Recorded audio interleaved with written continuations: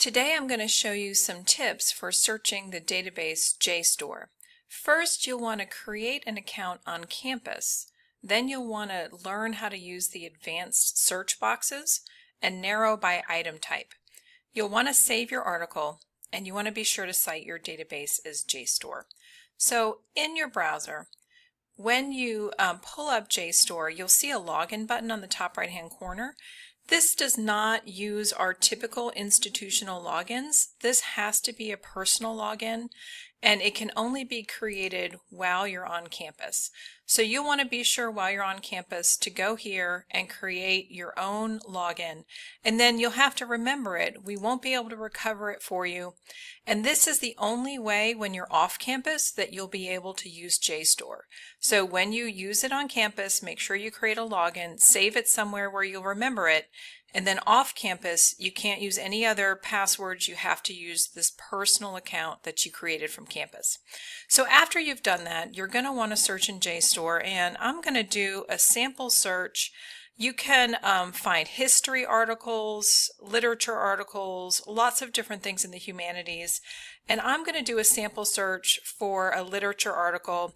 I want to find something written about the novel Never Let Me Go and the author is Ishiguro. And I'm just going to type it into the regular search box and see how many hits I get. So when I just type in those search words, it actually comes back with almost 400,000 hits, which is way too many to sort through.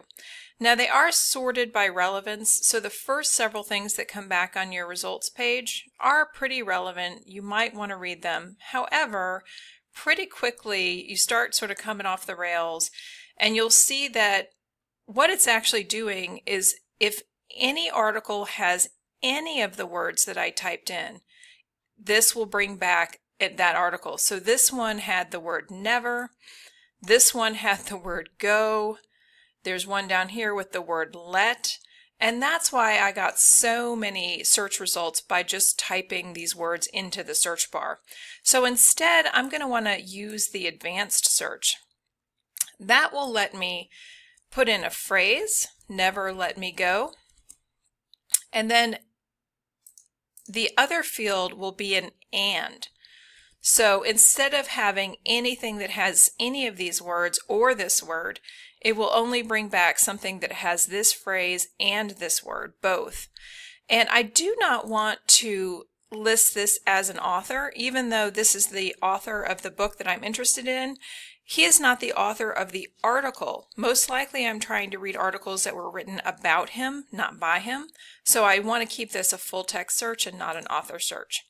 Now also from this advanced search screen, you can narrow by item type. So if I only want to read articles, book chapters, maybe pamphlets, but I don't want to read book reviews, I can leave that unchecked and limit my results to just what I want to see. So when I click search, instead of almost 400,000 search hits, I get 39. And these will be much easier for me to scan through and targeted much better to what I actually want to read. When I found something that I want to uh, read and cite, I would recommend you just go ahead and download the article, save it to your computer, so that way you can read it later and you don't have to stress out about maybe needing to go back to JSTOR and trying to find the article again. If you need to get it something for your citation, just go ahead and save it and then you'll have it. And then notice there is a Cite This Item button. It is an MLA 8th edition. However, uh, please do not just copy and paste this. Please try to go ahead and create your own citation and making sure that you give credit to JSTOR as the database. Thank you.